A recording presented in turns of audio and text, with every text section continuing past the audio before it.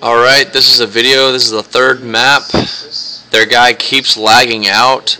He actually lagged out on his host on second map, so they had to change hosts. Tweak keeps lagging out, and we are winning 3-1 right now. This guy's respect connection's okay. They just planted A. But this guy on the other team, his name is Tweak, keeps lagging out. This is proof that we are not doing anything to uh, lag this person out. He just has a shitty ass connection. Alright, we're going around 2 3. As you can see, we just won the game 4 2. The tweet guy continued to lag out. GG.